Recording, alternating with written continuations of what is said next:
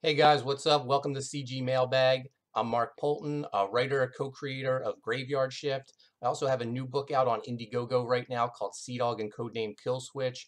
It's an awesome book. I worked on it with my son and artist Clint Hilinski. Um, go check it out. There's tons of great merch, uh, great tiers, rewards available, including this awesome Sea Dog hockey jersey that I'm wearing.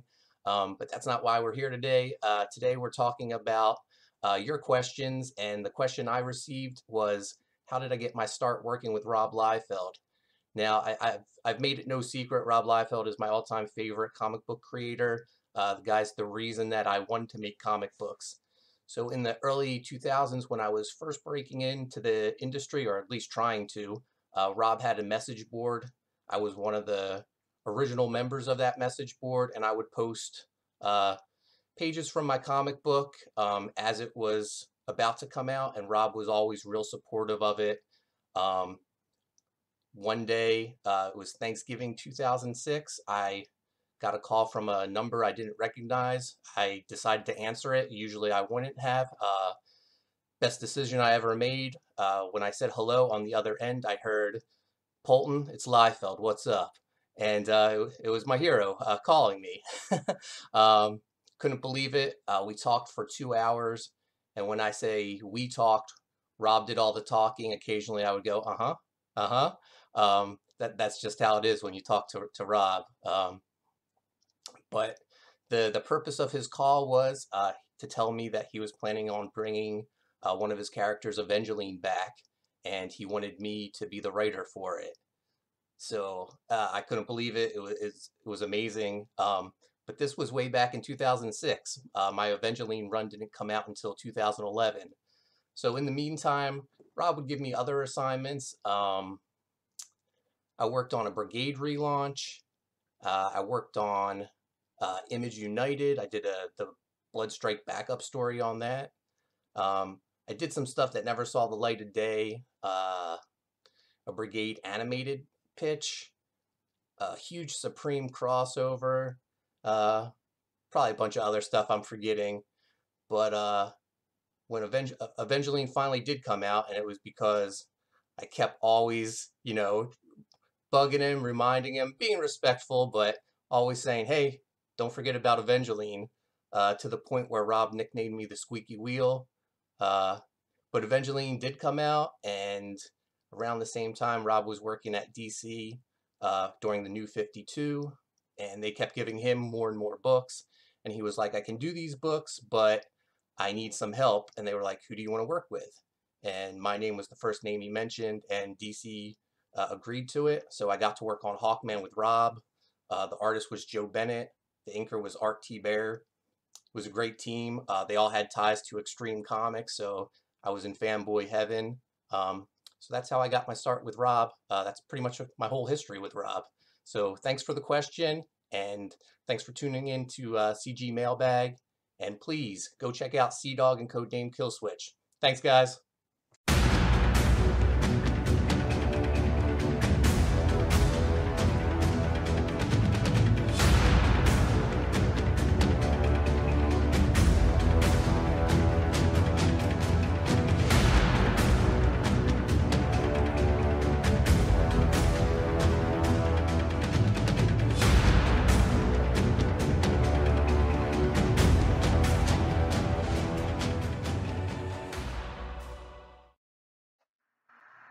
Hey there, everybody. Uh, Clint Hilinski here. I am the artist on Sea Dog and Codename Killswitch with uh, Mark Poulton as the writer.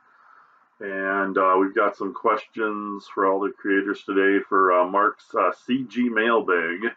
Um, the question that I got was What are some uh, good rates for somebody starting out that they should ask for, for pencils, inks, colors? Lettering, uh, file formatting experience aside. And um, it's a good question because when you're starting out, obviously you don't really know, but um, I put down a basic list and realistically, this depends on like what publisher you're working for. But a good starting penciling rate would be 100 bucks a page. Um, that's for small press, obviously. It's not Marvel or DC. I think DC's starting penciling rate when you get hired is 250 a page, but obviously none of the smaller press publishers are going to pay what DC is paying. So, say as a starting penciler, 100 bucks a page is a good rate. Um, an inker, I would say 75 bucks a page is a good rate for an inker for you know a starting publisher, uh, for a starting inker colorists. Um, I end up hiring a lot of colorists for my self-published books that I do. Like 50 bucks a page is what I pay my colorists usually about, and they're anywhere from 40 to 60 depending on you know what I can afford. But uh, 50 would be a starting good colorist rate. Uh, letters, I've used a bunch of different letter- letterers. I think the highest I ever paid was 15 bucks a page. I think for the most part, you can get a letter for $10 a page realistically, if you're doing your own book or you know publishing yourself, you can probably figure out how to letter yourself also, which is what I did. Um, for file formatting, uh, not exactly sure uh, what you'd be asking for a page rate for that. If you're just, I mean, most artists, if you're sending through emails, you're just sending your files up as uh, TIFFs or whatnot. So I'm not sure what sort of file formatting they need, but those are those would be good rates to ask for if you're starting out getting a job with you know a small publisher.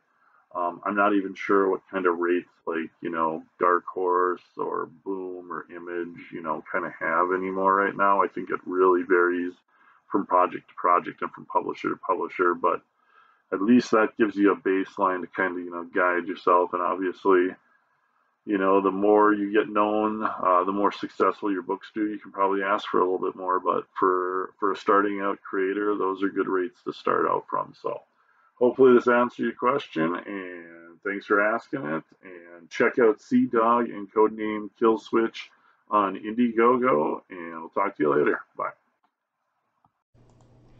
Like what? Hey y'all, it's Mandy. So yeah, I'm just here to answer a really quick question for you guys. Um, Mark asked me to, um, you know, pick a question and answer it. So the one I chose is music or no when creating.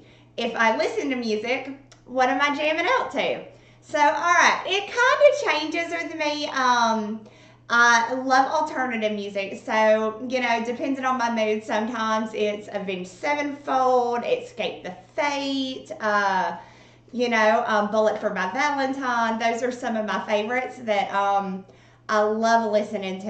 And then also, um, you know, sometimes when I'm feeling more like dancey, I'll put on some Britney Spears or, you know, um, Avril Lavigne or something like that. But um, also, there are times when I am kind of concentrating and I need to, you know, like get in the mood for what I'm doing. And in that case, I usually listen to music from the 50s and 60s. I'm a huge fan of um, that era of music. Um, so, yeah, like Buddy Holly, the Everly Brothers, um, Patsy Cline, all of that. So, it really depends. But you can almost guarantee every time I draw, I will listen. I will listen to Hail to the King. So, yeah, so that is the music I listen to, um, which is awesome. I suggest everybody check those out. Um, also, since I'm here, why not go on and pitch my book, right? I mean, like, what is Wart the Wizard, y'all? so make sure y'all run on over to Indiegogo, check out my campaign. It is in demand right now. We have hit a 9K stretch goal, you guys. So super exciting. Um, so yeah, Mark, thank you so much. This was awesome, hun, and love you guys so much. Bye. Hi, guys. I'm Antonio Brice. I'm the creator of the comic book series Brand uh, and the upcoming sequel to Brand, which is called uh, Brand Way of the Gun. We'll be launching that early next year. Uh, I was asked what books I would recommend uh, if if uh, you're looking to improve visual storytelling. Uh, you know, just I think that's that's pretty important. And there's a couple of uh, stories that I would recommend, but let me the the, the first one I would uh, I always tell people check out Spider-Man versus Wolverine. It's written by James C. Owsley and illustrated by Mark Bright. Um, uh, James Owsley would later go on to change his name to Christopher Priest, and uh, you know who you know this. So this is some of the work that he did when he was at Marvel. It's a brilliant story. Uh, he uses a couple of things that I've tried to re- remember when I'm working on brand, i.e., put something out there for the reader because you know it is visual so your artist is going to show you something and it's not until you get maybe 10 15 20 pages in that you realize that you saw something very important at the beginning of the story but you didn't know. And uh, christopher priest was brilliant in the script for spider-man versus wolverine because right at the very beginning of the story you see the character charlie or charlemagne uh, who is an old uh, CIA operative, uh, buddy of Wolverine. They've done a lot of like black ops together, and um, you you see Charlemagne right at the beginning of the story, but you don't get all the information until later on. And uh, matter of fact, you see at the very beginning of the story. Wolverine and Charlemagne are are they're jammed up in a in a dangerous mission over in Europe they're fighting for their lives to get out of there. Obviously, Wolverine is successful and they get out of the, uh, you know, they manage to, to get out of there by the skin of their teeth. And then we go to modern New York and Spider Man's on patrol and he's he's swinging around and uh, he sees this gorgeous woman and and his spider sense goes off for some reason, but instead of stopping her, he decides to oh maybe something's going on and it's not until you get later on in the story you figure out that the woman that Spider-Man saw that made his spider sense go off was Charlemagne.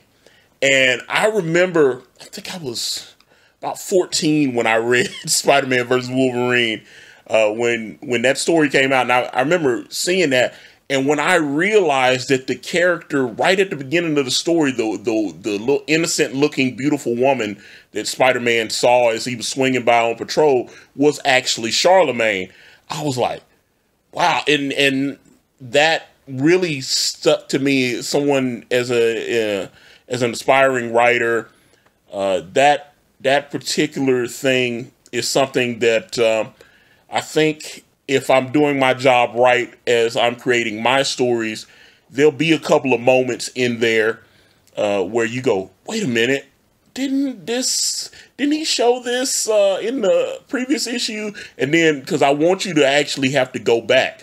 Because that's that's one of the things that I loved about the Spider-Man versus Wolverine. I think it's a brilliant story.